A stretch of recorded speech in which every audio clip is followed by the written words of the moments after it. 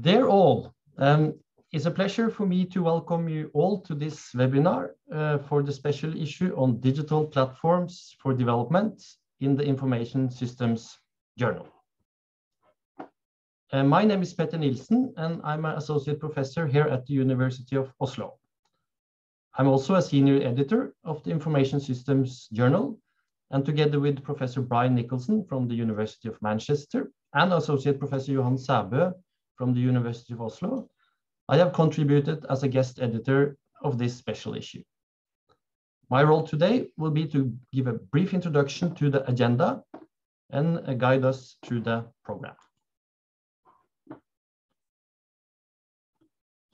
We will start today by an introduction from the special issue editors by Brian Nicholson. After this, the authors of the three papers in the special issue will present their work. After that, and finally, we will also have a question and answer session. So you will need to keep your questions and comments until the end. The Q&A session will be moderated by Johan Sæbø. As you can already see in the webinar controls, we have opened up the Q&A functionality uh, in Zoom. So feel free to write your questions there uh, or vote questions from others during the presentations. You can also raise your hands in the webinar controls during the Q&A session if you would like to give comments or ask questions, and we will eventually allow you to speak. As you may have noticed, we are recording this webinar. We will stop the recording after the presentations of the papers, so the Q&A will not be recorded. The recording will be made available after this webinar. So this was my brief introduction. And then I give the word to uh, uh, Brian Nicholson, um, to give uh, um, um, an introduction to our special issue on digital platforms for development.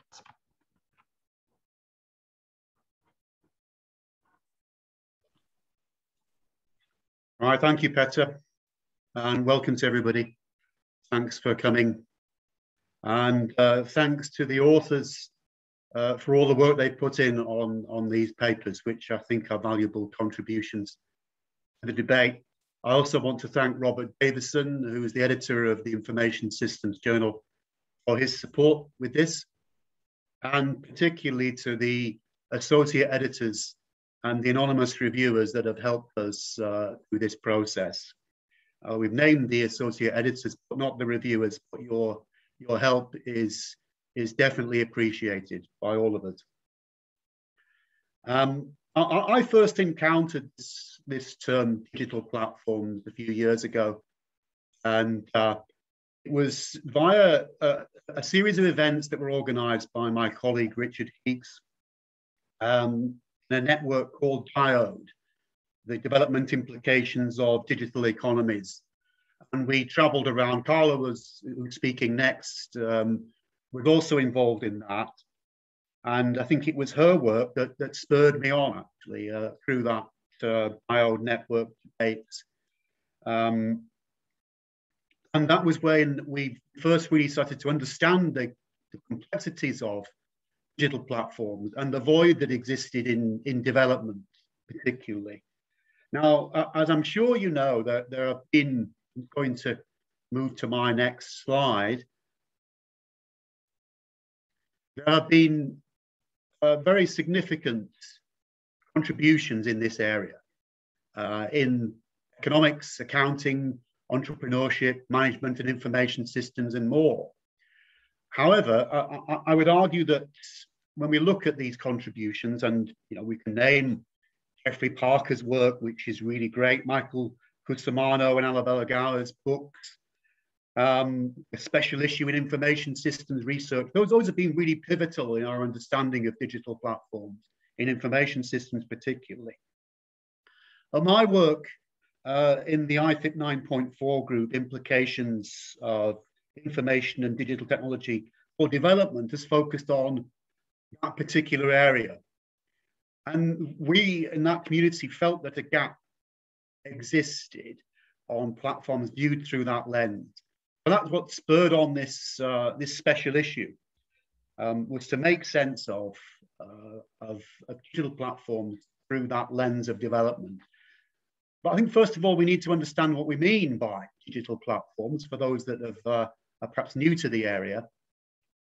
And I, I, could have drawn on some of those mainstream um, definitions from management strategy or whatever, but I've drawn on one in, in the editorial the OECD, which quite is quite a broad brush um, definition. Uh, now you can read that, of course. Uh, I'm not going to read it out to you. But what that brings in is a whole range of different possibilities for analysis of big work, of digital marketplaces, music sharing, dating, etc. Uh, so it leaves us a broad brush to examine the area. What we're particularly interested in here is, is development and conceptualizing development. In the editorial, we, we do give a, a, a high level um, uh, description of the paradigms of development, and, and we settle on the, uh, the 17 Sustainable Development Goals. Now, I'm not going to go into this, partly because uh, Carla Bonina and colleagues do a very good job in their paper of analysing this. So we're delighted when that came through in the paper. Uh, what I want to do is just to take you through some highlights of the editorial. Um, and what the editorial tries to do is showcase these papers, but also point to some dimensions of platforms and development. So, so first of all, the question we, we're trying to answer is can platforms facilitate development when viewed through the lens of the SDGs?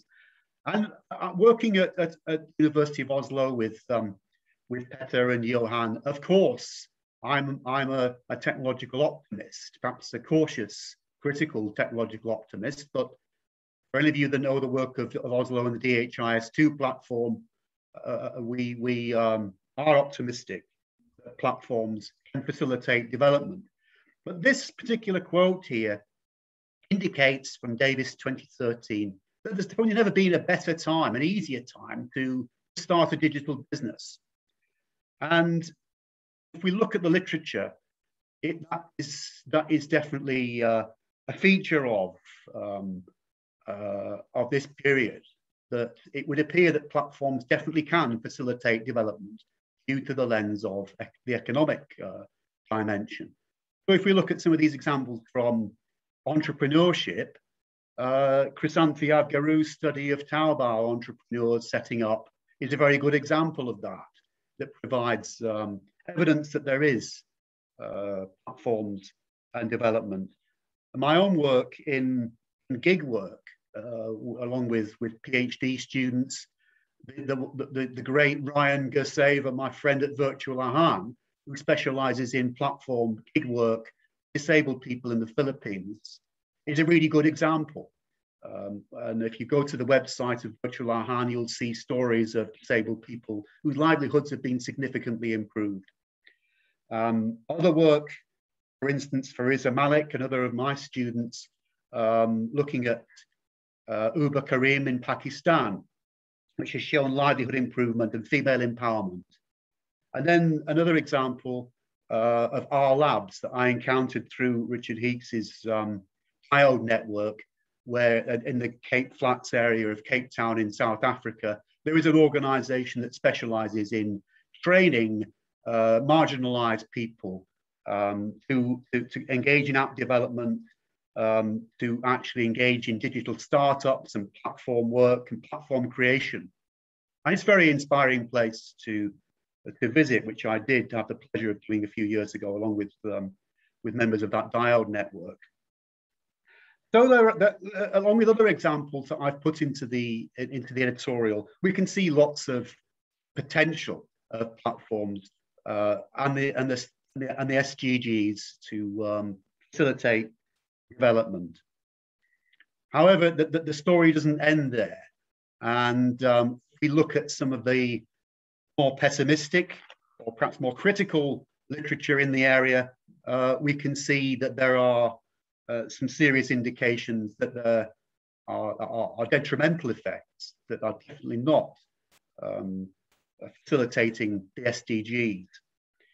The Frightful Five platforms monopoly, for instance, um, the Frightful Five in, is, a, is a, a, a, collective term for the largest platforms that I'm sure you're familiar with, and the critique of them uh, as forming a monopoly position, and the recent uh, uh, case of Facebook and the rebranding and the whistleblowing and the, the accusations of hate speech are one dimension of that.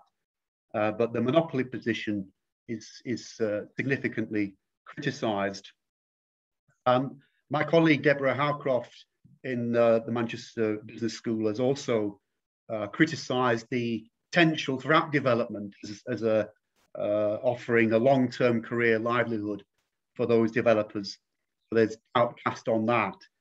Uh, uh, uh, Zuboff, of course, has criticised extensively the, the shifts of power from state to platform, calling for regulation and examining the dimensions of surveillance.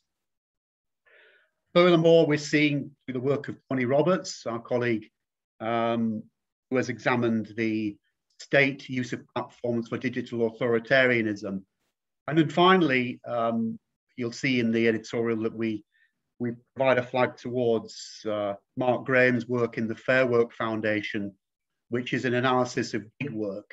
And the last, last piece of work I saw from them was an attempt to benchmark uh, all those gig platforms against fair work principles. And the outcome was rather pessimistic uh, when looking at the overall. So that's that is, is, is the, uh, that's the highlights of our editorial. What I'd like to do now is to hand over uh, to the the authors of the papers to take you through the highlights of theirs. So thank you very much, uh, Brian, for the introduction. Uh, and then I give the word to Carla Bonina uh, and Kari Koskinen uh, to present the paper Digital Platforms Development for Development, Foundations and Research Agenda.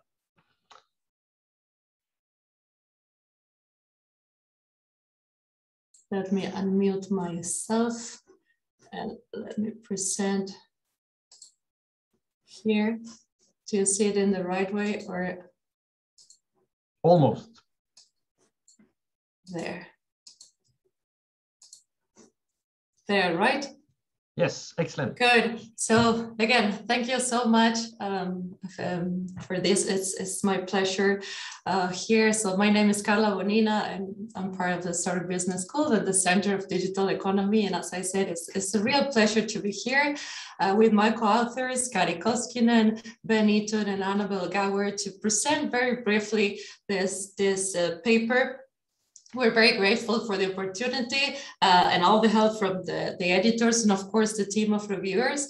And also we're very grateful for the support received for, from the ESRC sponsor network IOD uh, that you mentioned, uh, Brian, and, and the very valuable feedback we, we received um, along you know, different phases of this project uh, for the last couple of, of years. And I can see also uh, good friends and colleagues uh, attending this, this webinar. So what I would like to do today is, again, very briefly to present the, um, the key points of, of our paper. It's an open access paper um, that is already having a very good reception and we're very grateful and, and, and happy with that.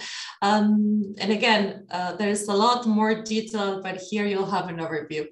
Um, I think, Brian, you, you touch upon something that was for us very, very uh, important as an empirical motivation of this paper, the role of the big platforms, and as you said, the frightful five or, or the so-called GAFAM these days, or although I think the F has changed. These global digital platforms uh, are now valued in $10 trillion, right? And just to give you a perspective, that's 10 times the GDP of Mexico which is a very big country. Um, this doesn't mean, of course, that the significant of platforms for development has not been out there. What we found that was precisely a gap um, from the, the, the literature taken this more developmental view. Uh, and of course, these platforms do bring a lot of potential to generate social, economic, um, environmental value. Uh, yet this was understudied. And we think that part of the problem was this lack of scoping on what digital platforms um, really are um, and, and what this object is about, at least very much in our field in information systems and also uh, uh, in development studies. So this was our guiding question, right, for this conceptual piece. What do digital platforms mean for development? We take a, a, broad view on development that is a holistic view that goes beyond, of course, economic uh, growth um, and encompass these other developmental outcomes, uh, very much exemplified by the sustainable development goals, right? So with that in mind, this paper does three main things, right? The first one is precisely to scope um, this object, right?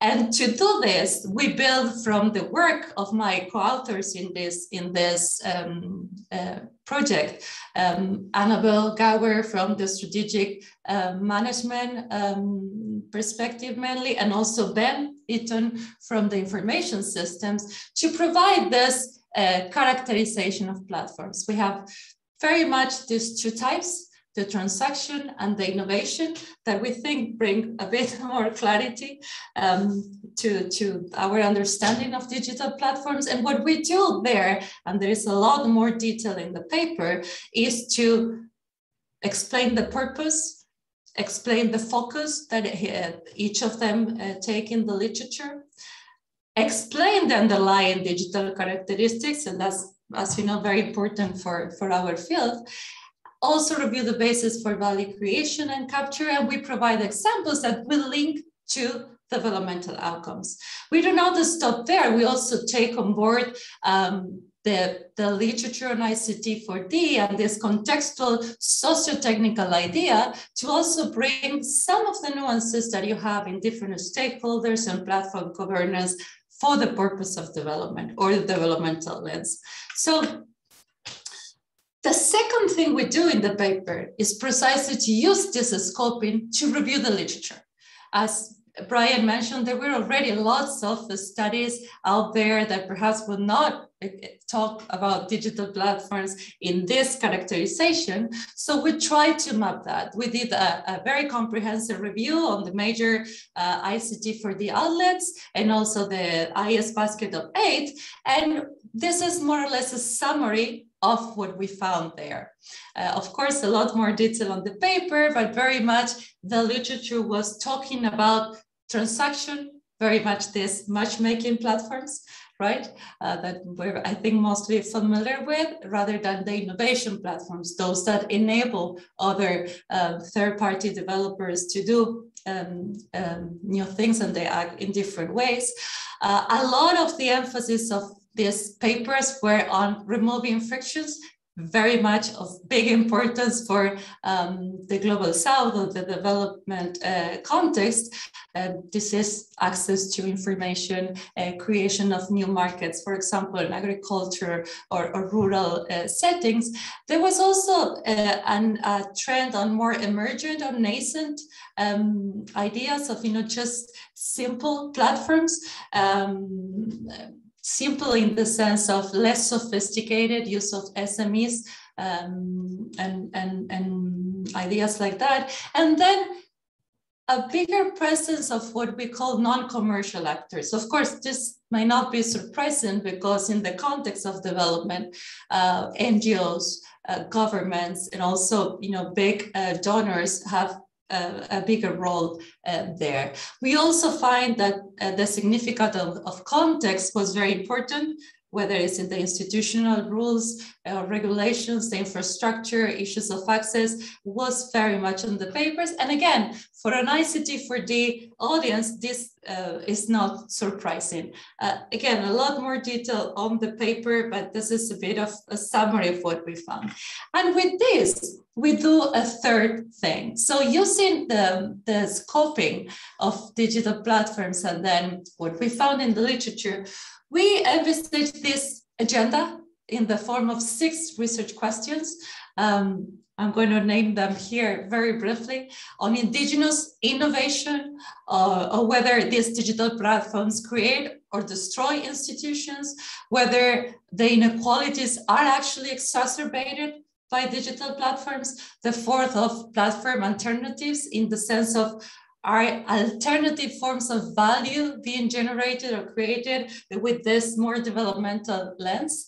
Uh, the dark side, things already Brian uh, touched upon, concentration of power, surveillance, and, and the very you know, harmful effects that some of them uh, might be um, doing at the moment. And then a, a, last one on the categorization uh, of that we found, you know, transaction innovation and the context of um, development. So for each of these themes, we define the research question, we explain what this is about, um, and we provide examples or potential directions, whether theoretically or methodologically, or, or even some of the studies that are already tackling some of this for future work. Of course, these six research questions are not mutually exclusive, and you may see a lot of overlaps. For example, within the dark side and concentration of power, we also may find implications on the exacerbation of inequalities or the, the destruction or creation of institutions. So I would like just to, oops, finish with a big of a, you know, big umbrella overview of what uh, we think our paper uh, does. First, we think that this scoping of digital platforms, um, you know, this characterization in transaction and in innovation with all their characteristics, while that might not be new uh, because it's been already developed in other fields, it's very important for information systems to contribute to this lack of clarity uh, we, we spoke at the beginning. And this is not just for development. We think this is uh, important for the field itself. Uh, we also we also think that this um, six research questions together with the scoping will actually help us mobilize a, a better understanding of these developmental outcomes and what digital platforms mean for development and not just in developing countries.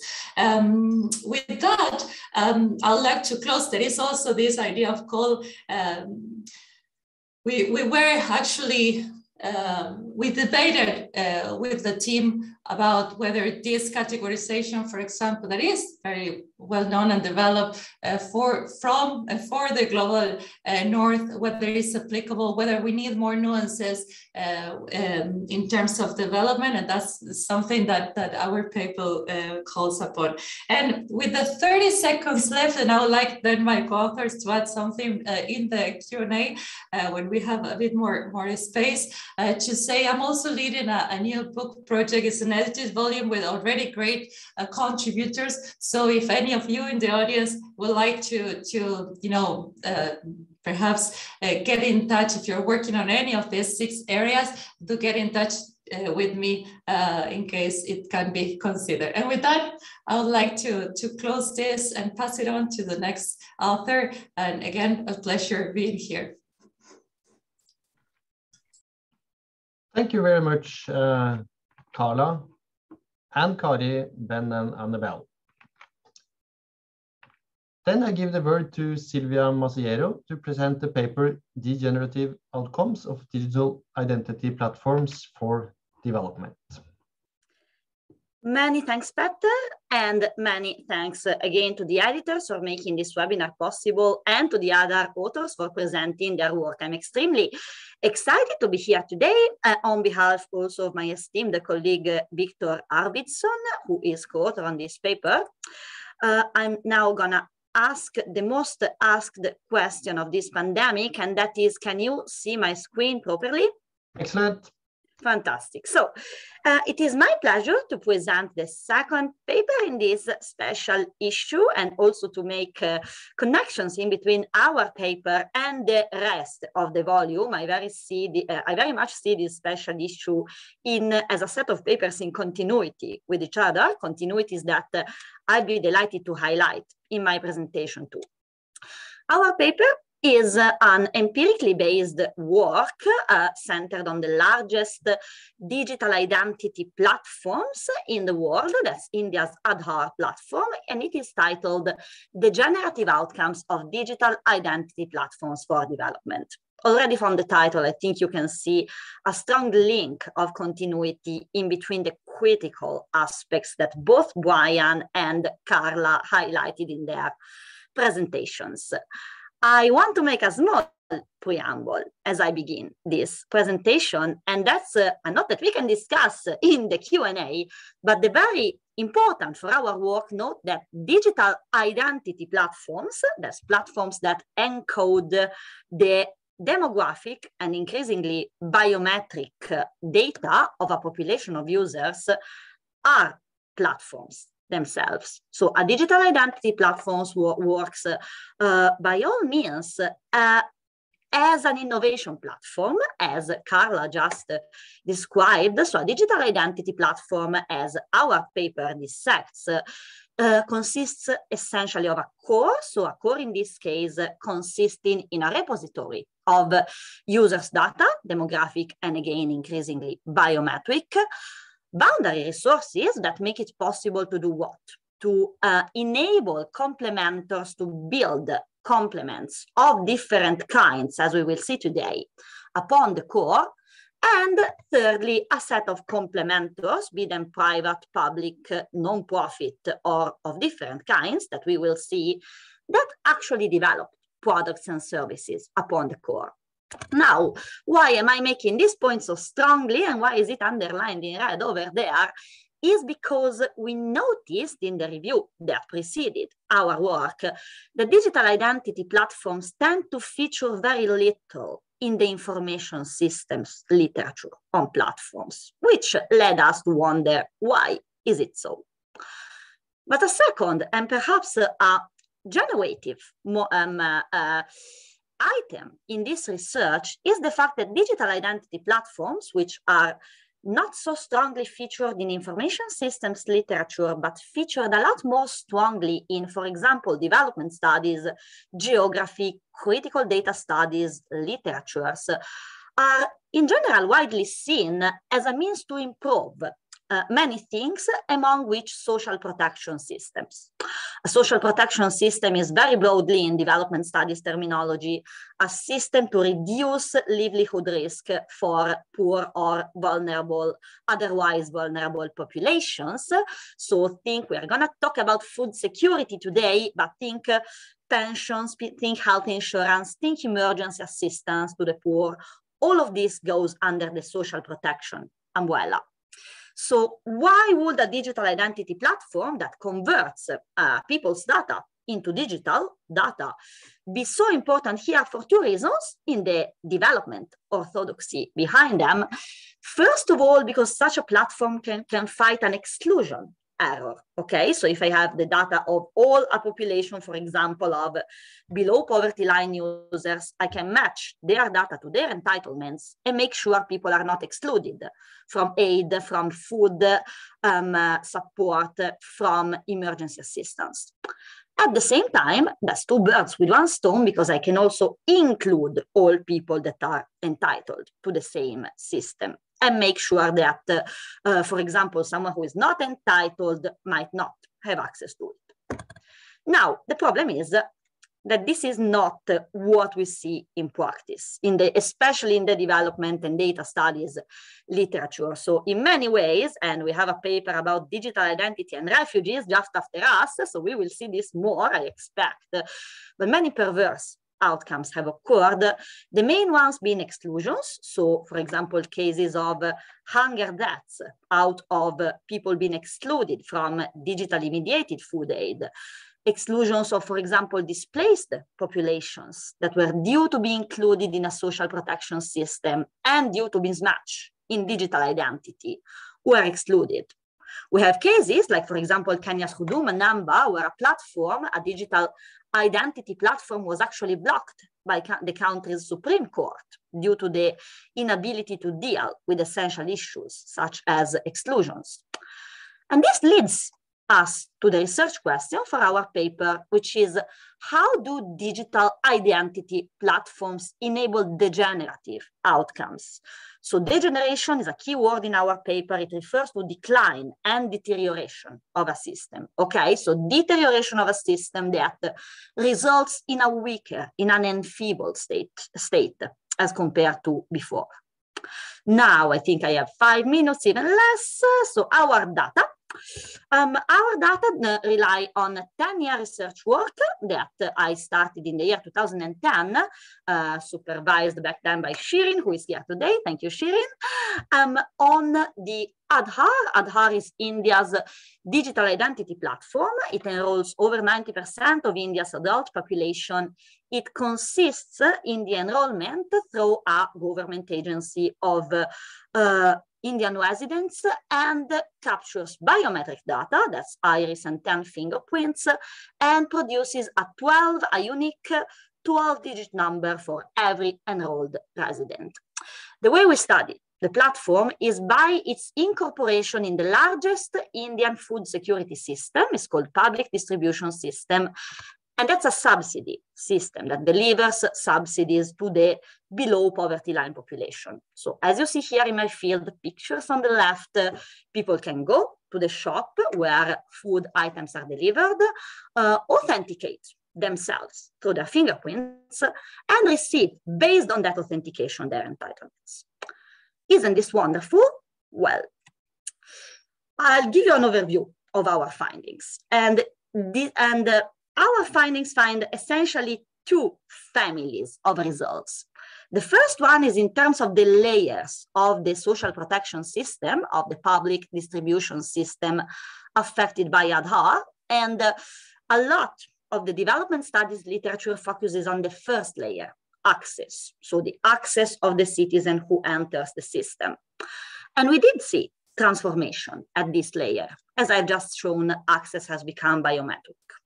However, there are two more layers that, uh, in fact, uh, the literature does not contemplate too much. One is in terms of monitoring. So how the Aadhaar system changed the monitoring of the system by the authorities at the back end, and very crucially, the development policy. So what we witnessed is not only a transformation of the system itself, uh, but the inscription of the system in a policy that wants to change the subsidy system to a system of cash transfers. Now, where's the degenerative effect that our research has found? So this slide is, I would say, the crux, the core of the research. And the research draws links in between the design properties of the Aadhaar and in effect, we can say one degenerative outcome for each of the layers. At the access level, we did find an issue of exclusion. So a problem of entitled users, uh, a problem that is quite uh, um, confirmed through quantitative studies of the same program, a problem of entitled users finding themselves denied the delivery of rations due to the inability of authentication. So this very much comes from a system that is designed to combat the inclusion error, so I surely won't be able to authenticate in case I'm not entitled, but not so much the exclusion error problem. The two further layers that we find is that monitoring is very much centered through the biometric system at the level of the shop where the person accesses the system. However, not so much at the earlier levels of the supply chain where a lot, a substantial part of the diversion of food items occurs. And a third, and perhaps, uh, and here I finish my presentation because my 10 minutes are up, uh, and a third and deepest layer is the layer of redirection of policy. So what our research documents is very much the fact that redesigning the system biometrically enables what is an ongoing shift from a subsidy system, giving subsidies to people, to a system of cash transfers, so bypassing the food security supply chain entirely. A system that uh, my our qualitative research reveal is for many reasons feared by many of the recipients for issues including the not so easy access to bank accounts and the immateriality of cash as compared to food. This wraps up my presentation, and this final slide only is my way to um, uh, uh, connect our research to Bonina et al. that also conceptualize digital identity as transaction platforms. So that's a debate I really want to have today and in the future. And that links the, the generative outcomes of the Aadhaar to the discourse on refugees that Shirin is going to embark. So I finish here my presentation with many thanks and handing it over to Shirin. Thank you very much, uh, Silvia. Um, and I then uh, invite Shirin Madon to present the paper Digital Identity as a platform for improving refugee management. Thank you. Let me just get the presentation up.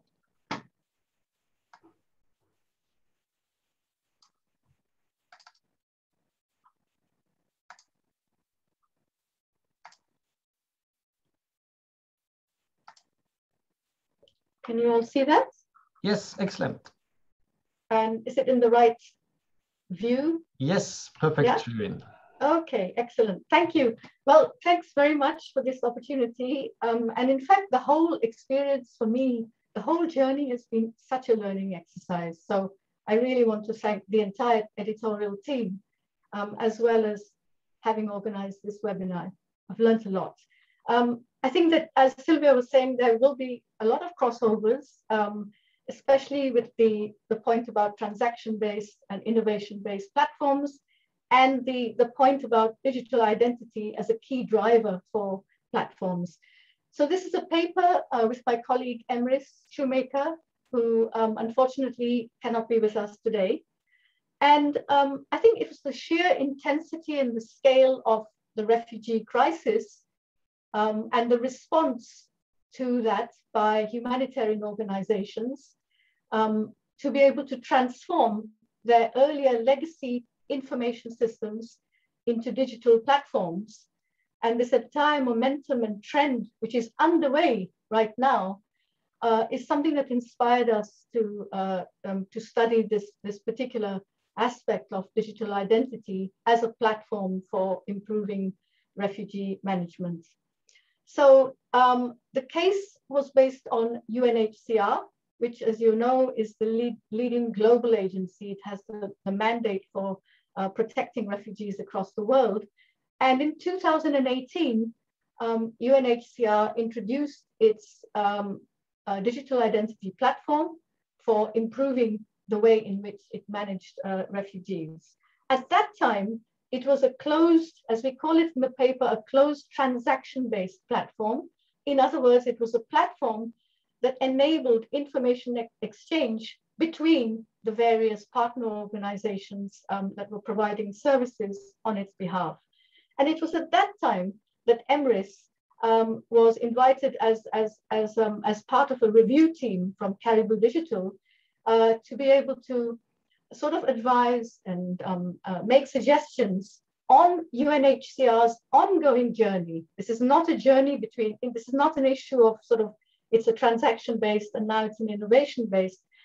Um, it was the journey itself, which is ongoing, and the paper itself tries to make a contribution to, um, to characterize, to theorize, and to try to characterize this process of platformization um, as we uh, know that term from information systems. So the way in which we try to conceptualize this opening up process um, and to draw implications um, for the main stakeholders and the sub-processes which are involved in the platformization process. I'll just briefly go over that. Um, so the focus would be on the, um, the solid line triangle in the center there, which is supposed to represent um, UNHCR's transaction-based closed loop platform as we refer to it in the paper. So as I said, this is the, the point about UNHCR working um, to facilitate information exchange with its partner organizations in camp. Um, that, that's the way in which it's been working and that's the way it still works with three key stakeholders, one, two, and three. First of all, the identifier itself, which is UNHCR, which I, you know, puts forward and proposes identification criteria for the refugees. Uh, number two, those who are identified, who are the refugees. And three, the third party service providing organizations. So in that first uh, um, solid line triangle there, it would be the closed system. Now, you know, obviously the, from a closed transaction-based system to an, um, an open innovation platform is something that is, um, it's an incremental process. And we try to denote that with the shaded triangle uh, as it expands into an open platform. Discussions are still underway within UNHCR as to what it means by an open innovation platform. But in the paper, we do give examples of what this is. So for example, this is the ability of refugees themselves to manage um, their identification portfolio. And more importantly, the open innovation platform is about opening the digital identity platform um, to third-party market players, which is a common phenomenon, not just in the humanitarian sector, but also for social protection and poverty alleviation. So within that schema, we then um, uh, identify and talk about in the paper three key sub-processes. The first one is clearly identification itself. Because how refugees are identified in the first place um, has a huge bearing on the entitlements they receive and therefore on their life prospects.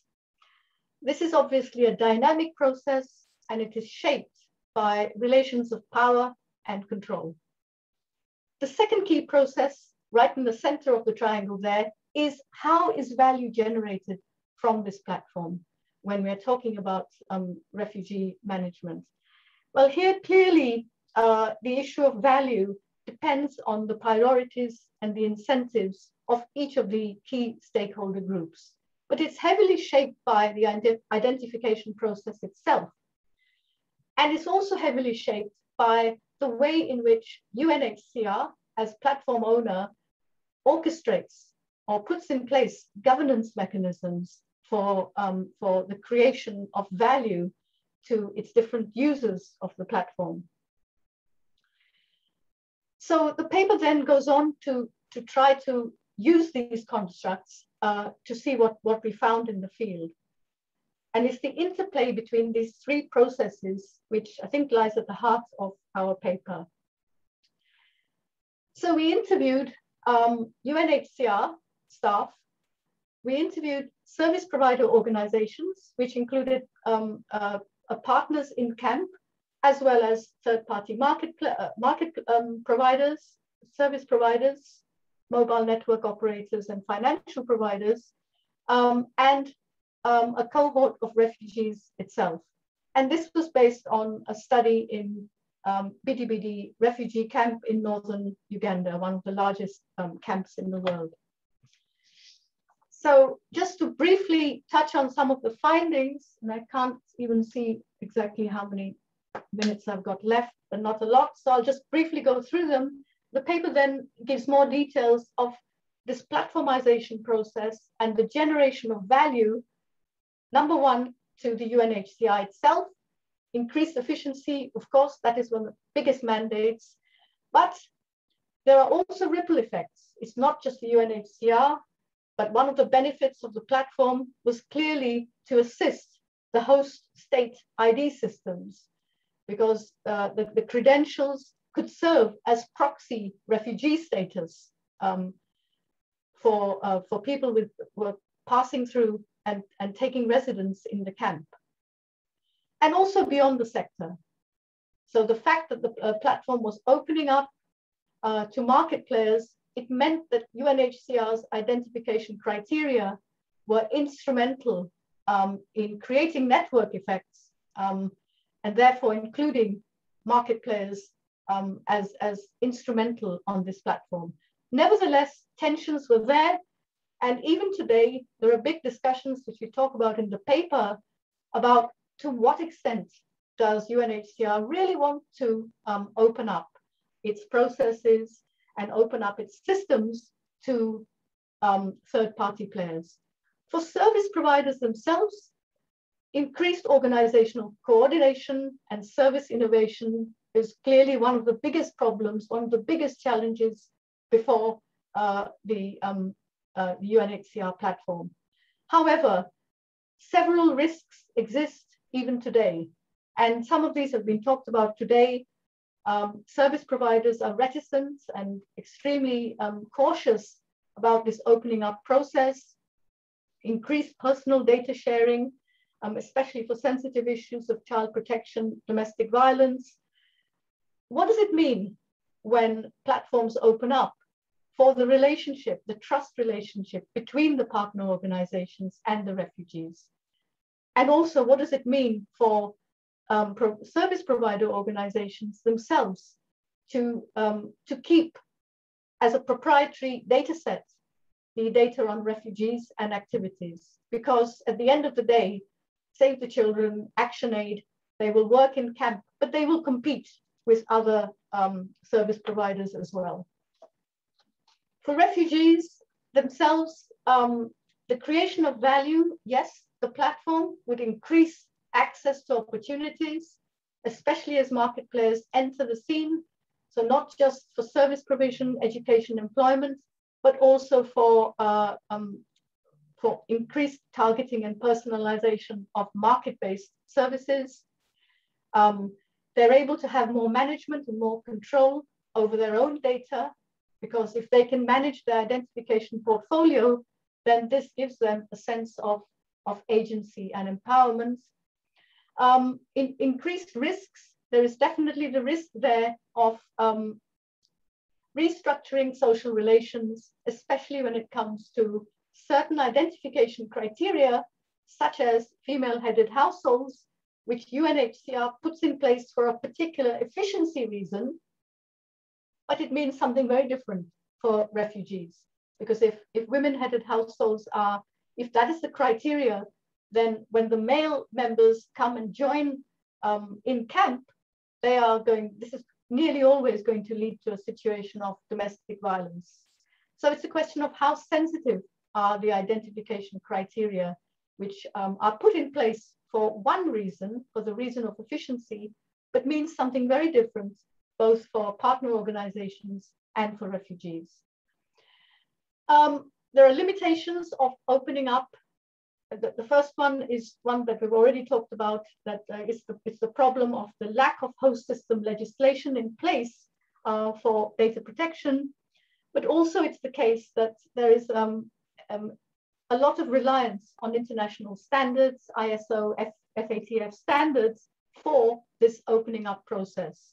So the, the selection of criteria by UNHCR, um, which would enable market providers and tempt them to provide market services is still not, um, not decided.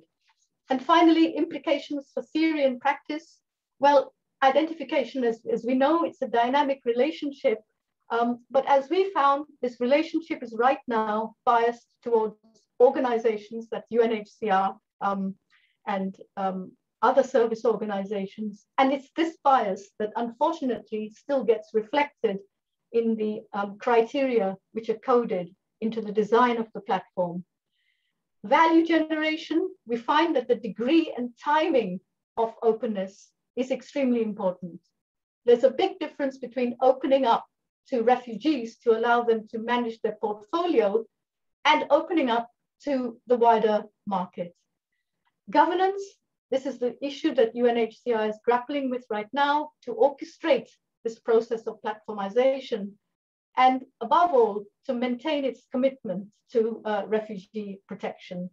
In the paper, we end with uh, a few change management procedures um, I think the most important one is the first one here, which is to um, ensure that there's uh, refugee and partner organization regular involvement in the design and evolution of the platform. And UNHCR is actually working with this to create an oversight board, which is localized.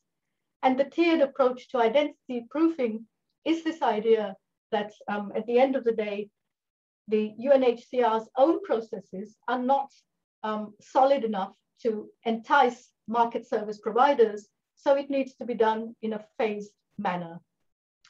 Uh, that, that's it. Thank you so much for the opportunity to present. I'm sorry I didn't um, stick exactly to 10 minutes. Thank you very much, uh, Shirin. Um, at this point in time, I will stop the